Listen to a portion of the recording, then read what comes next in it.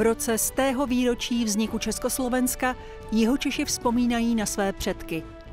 Vydáme se za těmi, kteří o samostatnosti našeho národa snili, bojovali za ní a budovali ji. Hrdost na ně je v jižních Čechách stále přítomná. Julius a Eduard Gregory vydávali národní listy a byli významnými politiky své doby. Prosazovali myšlenku svobodného národa. Rodinný odkaz žije i o dvě a půl generace později. V té rovině politické zakladatelé, osnovatelé Národní strany svobodomyslné v 70. letech 19. století. To byla strana, která kdysi na hlavu porazila staročechy. Nepřijali tu myšlenku pasivní rezistence Rígra, Palackého a byli v podstatě letitými poslanci českých zemských sněmů, ale primárně také říšské rady. A skrze tuto stranu se do Říšské rady dostával taky Tomáš Garek Masaryk. Právě díky bratrům Gregrovým. Jakkoliv se u nás v rodině při nedělních obědech tradovalo uh, historky uh, a půdky, uh, které vznikaly z rozporuplných názorů doktora Eduarda, toho velkého radikála a Tomáše Gareka Masaryka, že sice vyhrál nebo spolu vyhrál volby, dostal se do Říšské rady a posléze ho Eduard schodil ze schodu, když měli svoji politickou neschodu. No, bohužel se oba, oba tito eh, významní pánové eh, nedožili roku 1918. Oni zemřeli krátce předtím. Je samozřejmě eh, krásné žít s tím nádherným závazkem, že máte takto významné předky, že toho tolik v jednom životě dokázali. Mnoho jeho Čechů bojovalo v československých legiích. Domů do Nové republiky se vraceli strastiplnou cestou. Jedním z těch, kteří působili v Rusku, byl Jan Písek z Horního Třebonína. To uchoval můj děda, jeho bratr vlastně a pak to předal mě. A tady to je znak vlastně druhého jízdního pluku Černá žíně. První jezdecký pluk měl bílou žíni a tady je legionářský znak, takzvaný združený znak československých legií.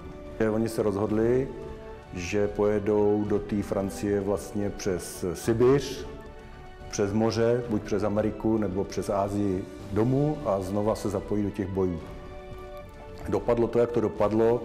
Oni vlastně eh, chránili transsibirskou magistrálu, dojeli do Irkutska a z Irkutska potom do Vladivostoku a z Vladivostoku jeli přes Singapur do Terstu a z Terstu do Olomouce, kde potom měl ten jezdecký pluk vlastně zázemí, kasárna a tam je někoho jako vycvičený vojáky je většinou chtěli na finanční stráž, na četníky, jenomže on, jak byl vlastně ze selského, tak se nechal demobilizovat a vrátil se domů a, a normálně hospodařil dál, oženil se, měl tři děti, umřel v 80 letech, je pochovaný na hrobě v Černiči.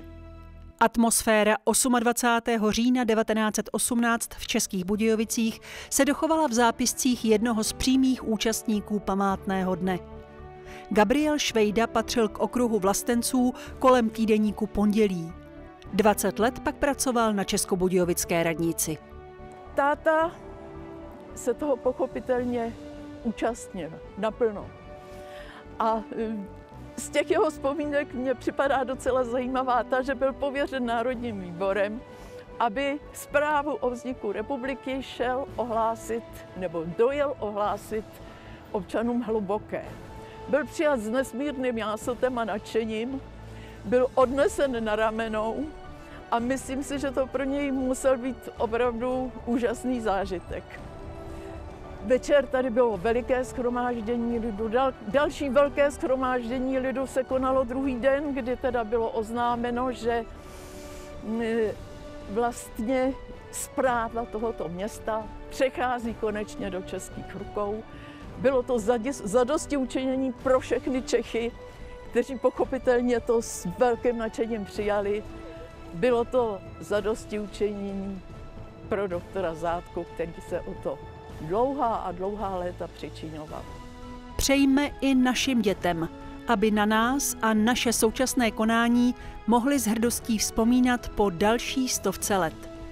Přejme si, abychom i v budoucnu zůstali republikou hrdou, svobodnou a prosperující, kde jich Čech bude stále krajem s lidmi talentovanými, pracovitými a poctivými.